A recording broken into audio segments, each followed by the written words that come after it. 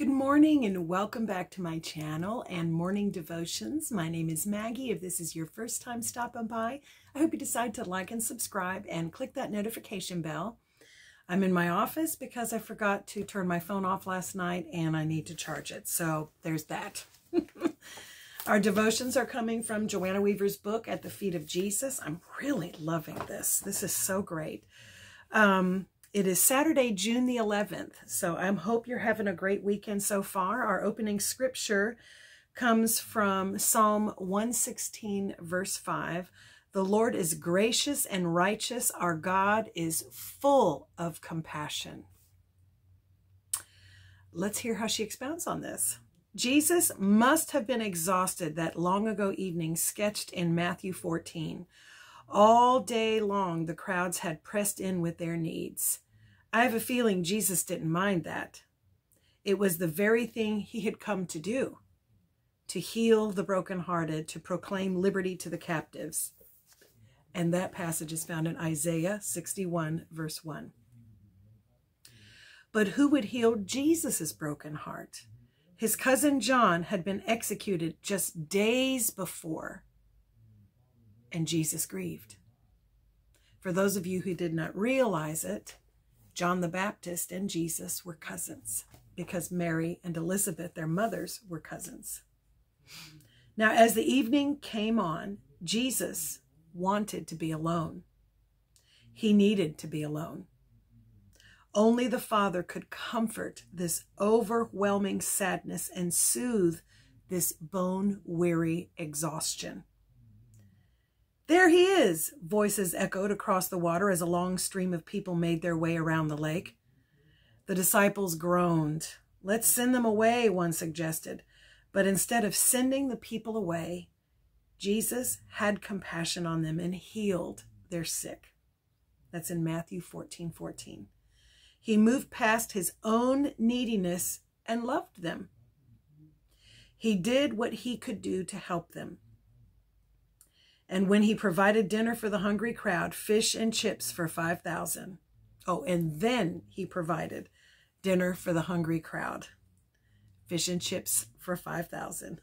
the Greek word Matthew uses for compassion in this passage is, okay, I don't know if I'll be able to say that, splach nizomai, nizomai, splug, S-P-L-A-G-C-H. I'm not sure how the G-C-H is pronounced in Greek and then nizomai, it means that Jesus didn't respond to the people out of duty. Okay?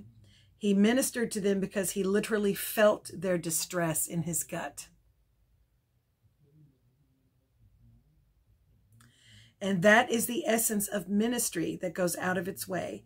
It puts self aside and reaches out in true compassion. True love hurts, Mother Teresa once said. It always has to hurt.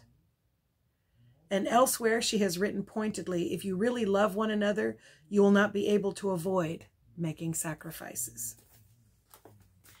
And that, of course, is not to say that you're so actively involved in the things you're doing for the Lord that you neglect your your family and your loved ones as well. Because if you're a parent, if you're a spouse, you do have obligations there. That's why the Bible says it's better to be single, but it's also better to be married than to burn. So there's that. But the Lord, in his graciousness, even in his exhaust his exhaustion, he was compelled out of his love, not out of duty, not out of obligation.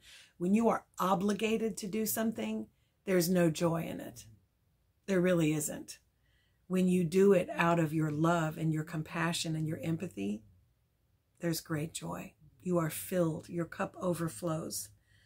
Now, our read and reflection, they don't give us a specific one, but use a concordance or a Bible website, look up compassion, and note the instances it is used in reference to Jesus. What do you learn about your Savior? That's a good thing. So if you have a Bible website, Gateway, BibleGateway.com is probably a good one. I don't know what kind of Bible study. I know CBN.com has a Bible. You could just look up um, There might even be an online concordance if you have one um, or a Bible website and look up compassion. I'm going to do that for sure. But let's uh, let's go before the Lord in prayer because I know that His desire is that we love one another. We've heard that the past love and serve one another. That's how people recognize who the Christians are.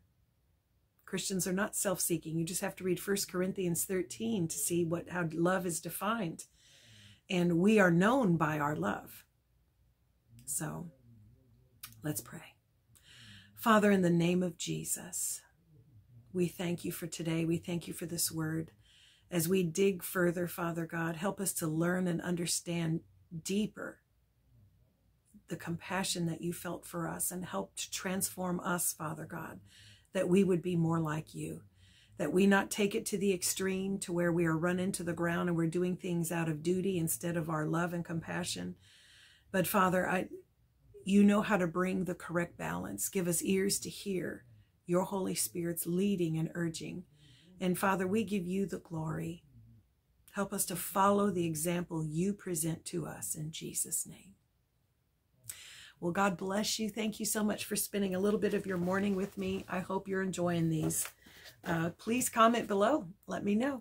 God bless you and bye until next time.